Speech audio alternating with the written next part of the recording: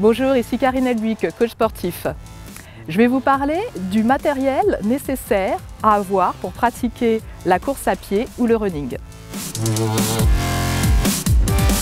Donc s'il y avait un seul investissement à faire pour aller courir, ça serait la paire de baskets. Donc il va falloir tenir en compte de votre morphologie et de la façon dont vous usez vos chaussures. Donc car il y a trois foulées hein, dans la course, il y a la foulée supinatrice, la foulée pronatrice et la foulée universelle.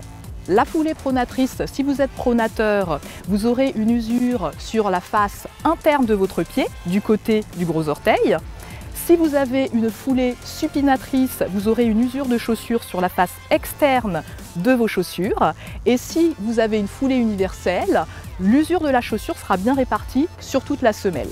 Donc là, vous allez chez donc, un vendeur de chaussures agréé et vous trouvez la bonne paire de chaussures qui va permettre d'absorber les chocs hein, dus à la course et qui va vous, permettre d'avoir une meilleure stabilité. Donc le bas, vous avez euh, soit le caleçon, hein, le caleçon long, moulant de préférence, ou un cycliste. Pour débuter, ne vous inquiétez pas, euh, le vieux bas jogging fera très bien l'affaire. Mais par la suite, vous, en viendrez, vous viendrez vite apprendre un autre équipement un petit peu plus pro.